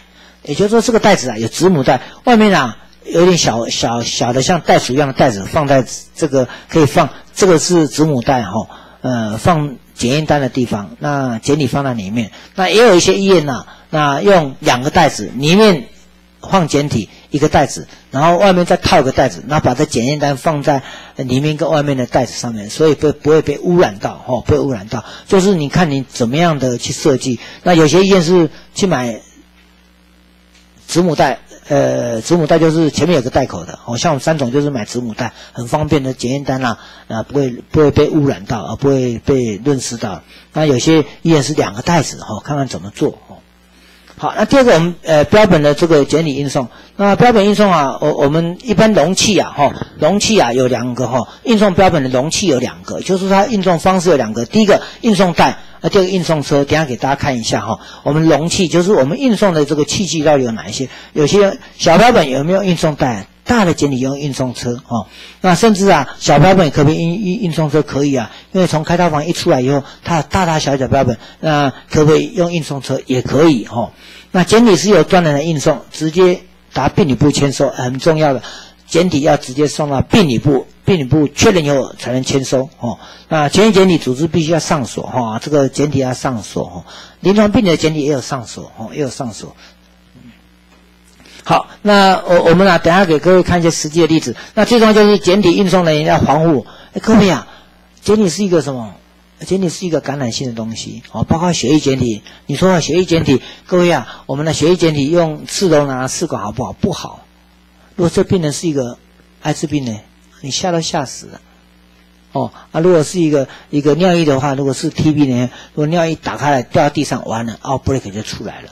所以啊，他我们在做简体运送的人员呢，注意事项一定要有。第一个，所有简体都有感染性，尤其这个病人肝脏排出来，他是 B 型肝炎啊，二十年的病史。那病人目前呢，这个这个呃，社会是安利级跟跟这个易安利要 positive，哇，这个是高感染性，所以这个检体要注意哈，尤其肝脏的这这个检体哈。那既要既呃既有传染性的检体啊，那如果这个病人是 HIV，如果又是 B 型肝炎的啊，对不起，这上面要贴一个感染性的标签，黄色的啊，一个黄色的黄底的标签贴在上面，警告所有后面的处理人员。哦，很重要哈。那要双人夹链带哈，刚才所讲的，我们都有一些双人夹链带来保证了病人啊，这个检体运送过程中，福马林啊不会泄漏哦，不会泄漏。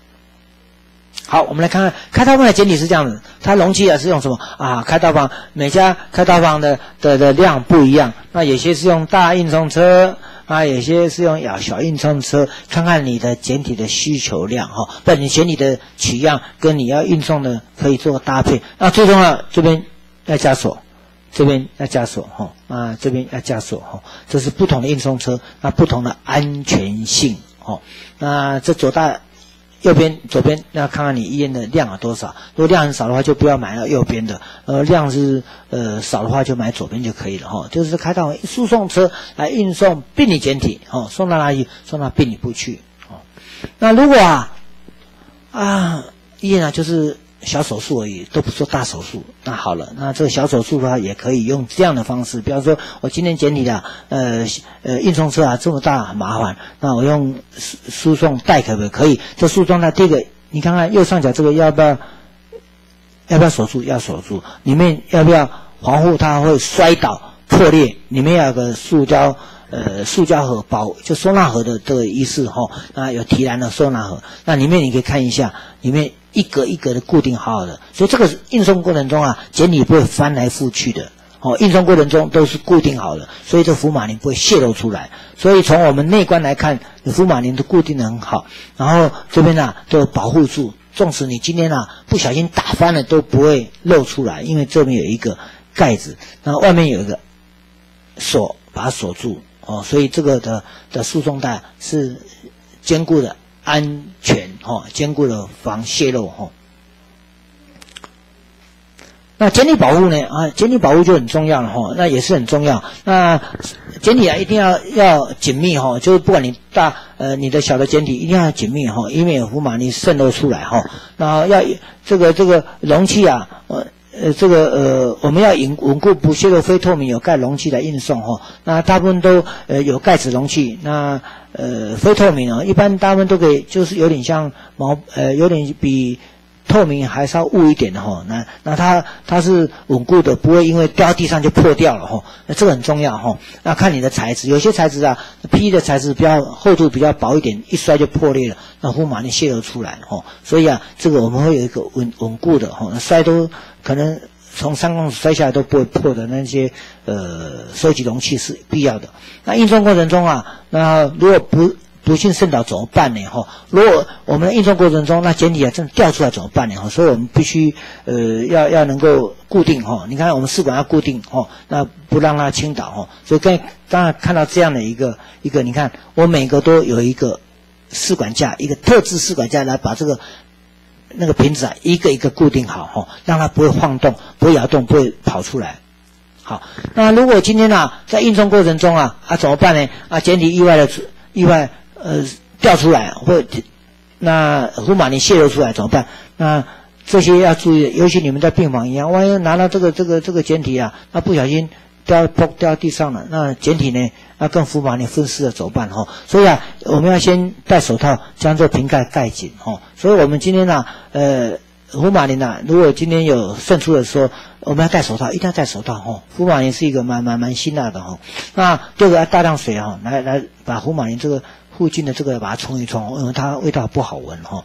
那如果有检体离世的时候要报告，因为你有时候你在锁的不小心，啊，你一个白欧式这么小啊，只有零点零点三乘零点三，眼睛有时候都看不到。如果一乘一都要看得到啊，零点三乘零点五啊，宽厚的乘啊，掉地上，浮板掉地上，那地上的话那怎么办呢？所以啊，检理不见要告诉什么？要告诉这个这个呃送检医师很重要哦。不要说你这个检体啊，把杯子送出去啊，没有检体哇，到时候被告哦。那所以要注意一下。那我们先处理福马林的哈，然后再检理不见要告诉医生。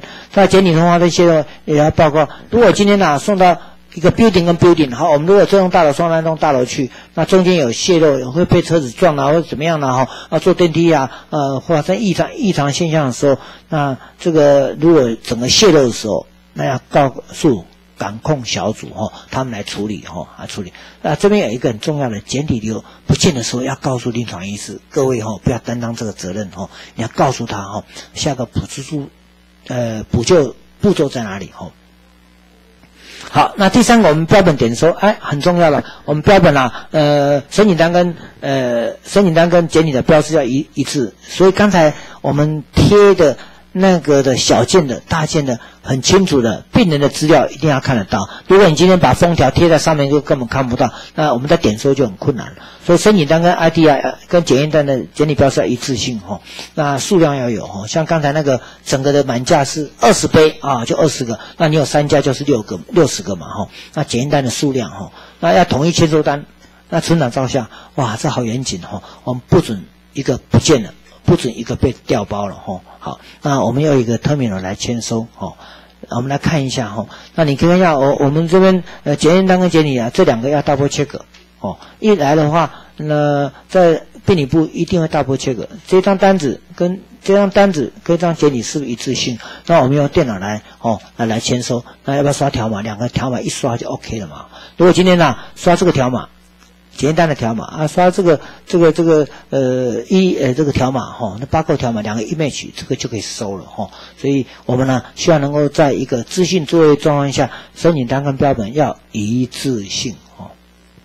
好，那呃同一签收的档案呢，我们要建立哦，就是你今天呢在医院里面呢，怎么样建构一个签收的程式，有系统啊，又安全，那又很容易找得到。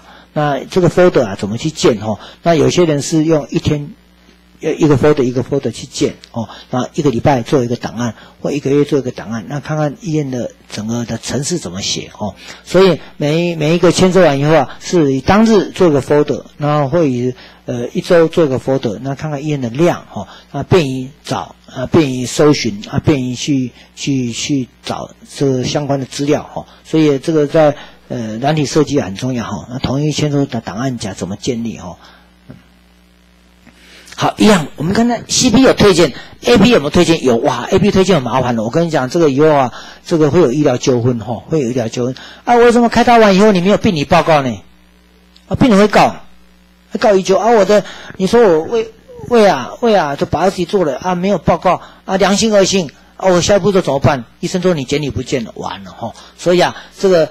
退简体啊，如果有这样的服务，大家注意一下。第一个哦，标示不清楚的简体，那你是一个 stomach 胃啊，你送了一个什么子宫，那就不对了嘛哈。那标示不清的简体，那不当的简体形式哦，你是一个 biopsy，你是 subtotal 啊，如果呃标示不对，你是一个。一个一个一一个一个取样的，还是一个整个部位切除哈？那检体没有申请单或申请记录哈？那这也不好哈。那病人资料检验单有误哈？刚才提过了哈。那检体有污染的可能性哈？那很很单纯的啊，盖子没有封条啊，盖子有封条，但是破裂掉了，有没有被污染哈？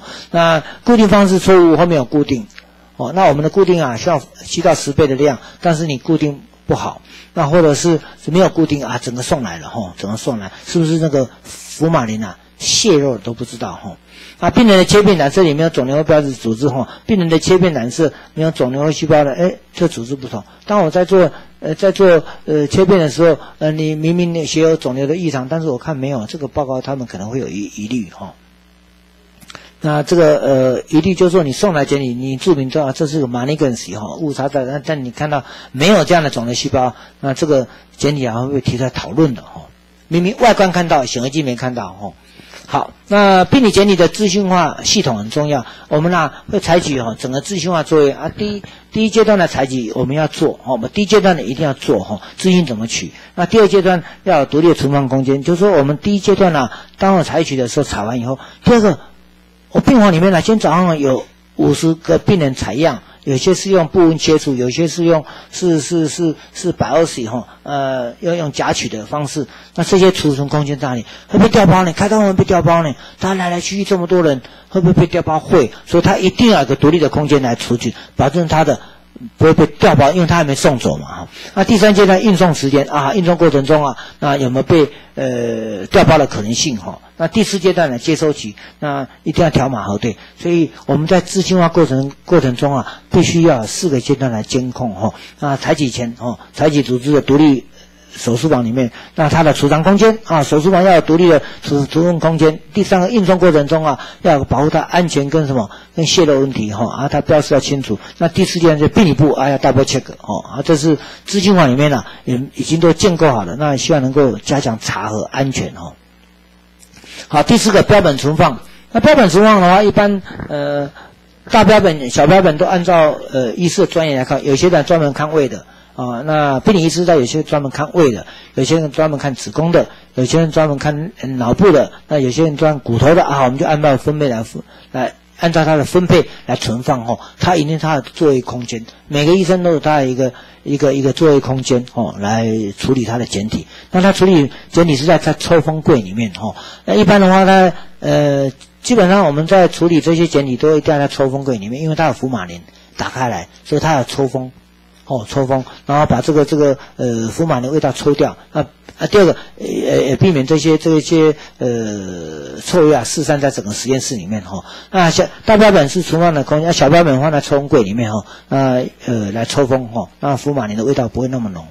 啊，你可以看一下哦，呃，这是一个呃小标本的处理空间哈，小标本处理要抽气哦，那这个叫抽气柜，那抽气柜就是如果它上面呢可以把这个抽气用 suction 抽取掉哈，所以呢，那在这个作为空间，那把这简体放这边，那简体标示很清楚哦，那大的简体放在这里，每个那这个大的简体里面呢也是一个抽气的地方，那但是医生呢他有处理，呃，每个医生处理的专业不一样，所以他我们分。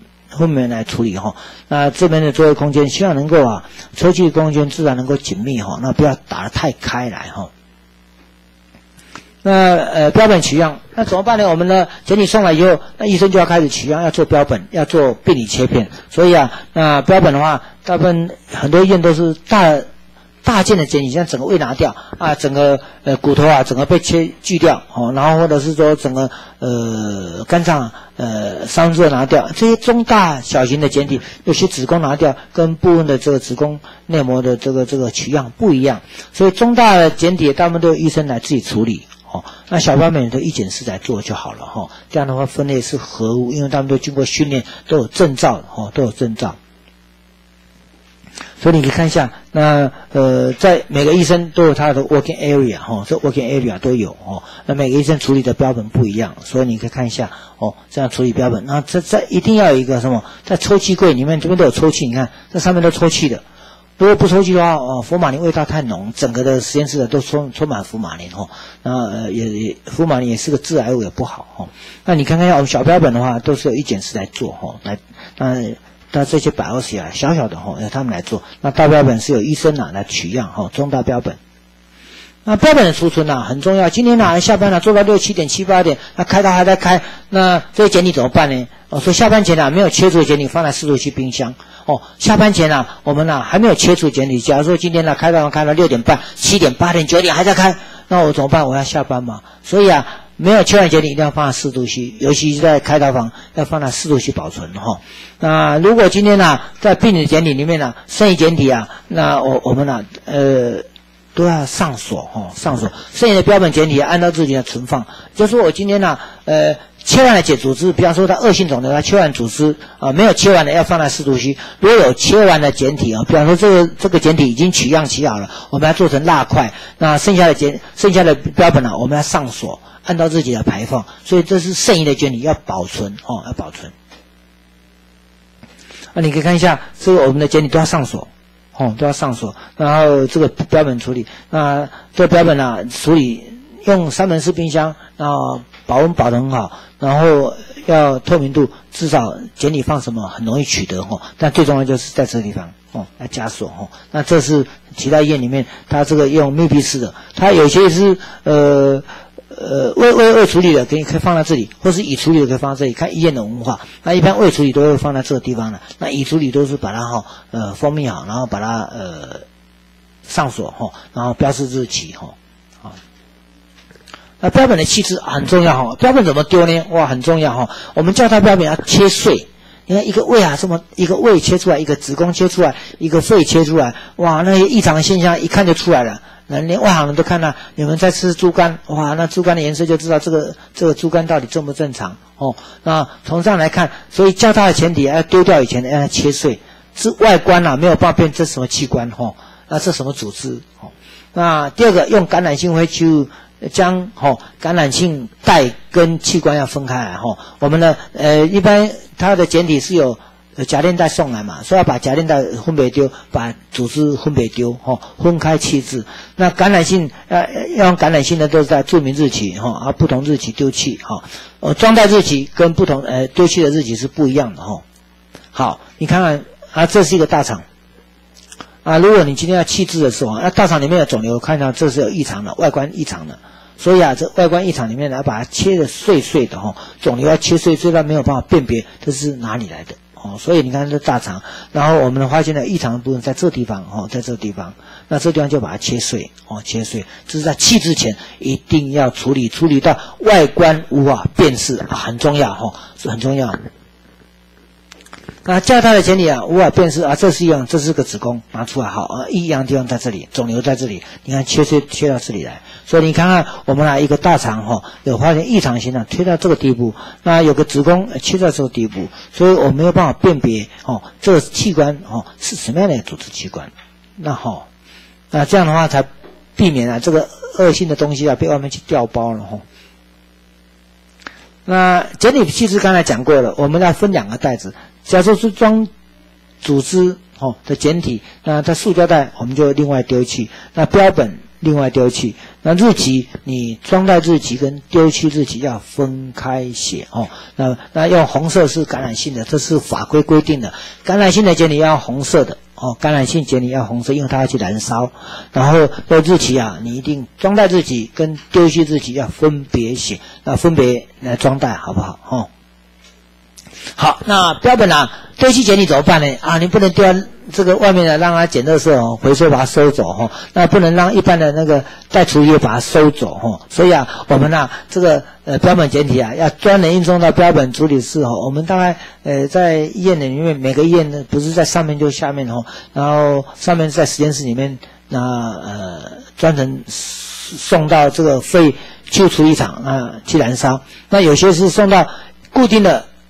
储藏室，然后再专人把它收走哦，所以这个很重要。那我们的废弃处理储藏室要适度去保存哈，适度去保存，所以它还是要有一个温度的控制哦。好，你可以看一下，那这样的一个废弃物都有一个专门的哈，一个锁住的，然后把它放进去哦。那适度去保存，然后废弃物处理啊，是集中保管，然后适度去保存哈，那是维持在哈，并上锁，这锁都有。好，那也有一些医院呢，这是一个呃比较好一点的保存的空间哈，那外观看不出来哦。然后也有一些就是说，呃，传统的冷房，这冷房空间很大，冷房的空间就像这这间教室这么大，哦啊，有些甚至比。这是教室一点五倍左右这么大，那这边的话，第一个这边有一个安全的这个气窗可以看哈，那要锁住哦，啊这边有温度控制，那这边有这个这个这个医疗废弃物标示哦，那这边有个警报系统，当温度过高它会警报哦会警报，所以这是一个安全性非常高的哦非常高，所以这废弃物处理啊，有医院的设施不一样，有些是用这样密闭式的，要有些是用传统的这个都可以哦，要上锁。那档案管理也是一样哦，要专人负责管理哦。那拨片呐，那会被调包啊，条码会被拿掉哦。那拨片上面的标识会被拿掉也不好，拉开归档都要专人来负责哦。那啊，第二个啊调出归还要电脑化管理，就是我今天呢，可能调三年前这病人已经做过的这个切片的拨片，我就把它调出来。当它调出来以后，归还要原位归还哦，不要说这片子啊被拿不见了哦。所以啊，我们都要电脑管理哦。拨片啊，可能是三年前，可能五年前，可能八年前的拨片都会掉得到。蜡块也是一样哈，八年前蜡块要不要重新再切一次，再染色一次都可以哦。所以这个要专人负责，不要被拿掉了哦，被被被人被丢掉了哈，这个很可怕哈。啊，调出归案都要前面电脑管理啊，档案人不在的时候去上锁，所以这个还这个房间还是一样哈，要上锁，避免啊人员去把它拨片啊去置换新的拨片哈。啊，这个还被调包可很可怕哈！你看看一下啊，这个呃实验室建构的蛮漂亮的。你看这是一个拨片的档案夹，它一片一片的，一那一个带一个里面可以放一百片、两百片，看你的空间大小，然后号码序号建立的清清楚楚的哈。啊，这个可以存放十年都没有问题哈。拨片的档案室哈。那蜡块实验室，因为蜡块比较大一点，那里面有蜡块，所以蜡块实验室这个空间呢是比玻片来的大哈，所以它蜡块管理也是一样。那它管理都是用什么？用图书馆管理，这个可以移动的，那减少空间的的的的的保护哈，浪费空间的保护一样哦。这蜡块档案管理室哈很清楚哈。好，那检理标本流程监视怎么录影呢？啊，医生啊，手术医生拿下去检理啊，监视在这个。当我医生在开刀，开刀一定有监控系统。然后当我放进检体，这个都有监视系统，所以这个监视系统都是连续性的哈。所以你这个检体啊，是谁放进去的？那医生放进去都要有一个什么监视管理哦。那从见证人也是一样，当我见证人的时候，哎，然后看看医生把这个检体签名的见证签名的放到这个瓶子里面啊，这个都在录影监视下的来来操作哦。所以检体处理那操作人都要监视录影哦。那医院有建立一套，在开刀房，病人呃医生取器官或取组织，取完以后，然后再呢送到这个这个这个呃容器里面，里面有福马林的流程，然后封盖、封贴封条，然后贴病人资料，这都是在监视录影下哈。那在监视录影下，万一有问题的时候调一调出来，那都可以哈呃举证这这这个检体是正确的。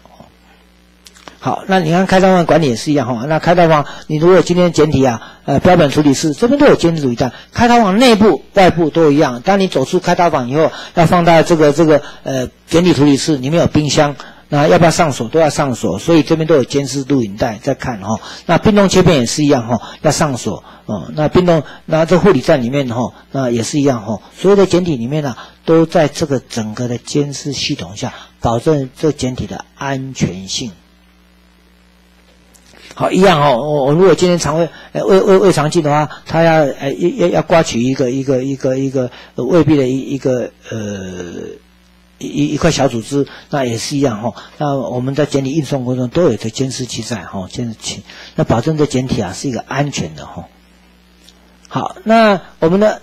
画面啊，我们二十四小时啊在监控。我们现在有有九个画面啊来监控各个不同的的区域的作业哈。比方说，这是这是地下室的作业哈，那这是实验室的作业哈，这是检理的处理作业哈，啊，这是这个这个呃一楼的作业哈，啊，这是实验室的作业哈。你可以看一下这整个的九宫格啊，啊，可以把每个作业区啊，呃，完完全全的录制录制下来。那将来有依旧的时候就可以调出来哦。好，那摄影机也是一样哈。我们摄影机在实验室里面呢，都都有一些固定的位置放哈。那作业一定要在监控之下来作业哈。那晚上的话都有红外线哈。晚上的话灯关掉都有红外线在在做在做摄影，所以二十四小时啊，呃，红外线摄影是扮演的晚上哈，灯关起来啊都可以摄影得到。好，那如果你要看单一的，呃，答应的话，就把荧幕放大，谁来操作，有没有正确来操作，那有没有被造假的可能，哈，都可以看得到，哈。好，那夜间录影也是一样，呃，红外线的录影，哈，都可以看得到，哈。那我们如果万一有依旧的时候啊，怎么检视过去的时间？就把时间。哦，那这个病人啊，什么时候送检呢？去查开到手术房，然后这大概一天的时间到三天时间，就会去看他录影的一个呃情况哈。到底啊，这样录这过程中啊，哪里有瑕疵哦？哪里有有有被造假的机会哦？被调包的机会哈？啊，尤其有异旧的时候啊，这是最好的证据哈。好，那最后讲到保存，哎，这保存很重要哈。我们剩余的简体保存呢，在湿度区啊，要一放一个月，就是我们呢，剩余的简体要放一个月。所以你可以看看地下室啊，我们刚才讲的地下室啊，冷房跟那个冷冻柜啊，哦，冷房跟那个隐秘跟那个呃，一个月才能消，蜡块要放十年哦，蜡块放十年，玻片一年后可以销毁掉。所以你可以看一下，那蜡块啊要放十年，那压力就很大了哦。所以我们呢，第一个。简体要放一个，四度机放一个月哦，然后组织块放十年哦，组织块可以再再再切啊等等的，那玻片放一年哦，因为如果玻片不见，组织块再切都可以看得到哦。好，那我们可以看一下我们刚才所讲的这个呃简体保留啊，一个月啊哦，空间在哪里？那有有有些院呢做个密闭式的，它空间很大，哦，上锁。那有些是用传统冷房。哦。那里面空间像这个实验室啊，呃，不在教室里面一倍半哦，或一倍，那要放一个月是没有问题的哈。他只要把它置放好，然后置物柜做好，然后空间规划好，日期规划好，这个都放的没问题哈。所以我们刚才这边所讲的这个保存的空间呐，湿度系要一个月销毁和检体，那大大小小都有不同存放存放的需求。那组织大块十年，哇，这压力很大哈，压力很大。那玻面放一年都还好，因为玻面蛮小的。好，那以上啊，我们就我们临床里面呢啊，你们的护理工作里面呢，呃，碰到的一个 CP 的简体，AP 的简体。那我们从它的值跟量，从它现行作业，从它的安全跟标识啊，做一个哦详细的说明，然后，做一个实地的的的讲解。好，那我们今天课到这里，那没有影响到大家下课的时间。大家同学有问题没有？啊，听得懂吗？听得懂哈？好，那我们我们考试很简单哈，那考试我们并不难，因为这都是实际的动作，然后到医院里面大家可以看得到，可能呢到你们毕业以后啊，那整个系统会在修正都不一定。好，那我们今天上课上这里，谢谢。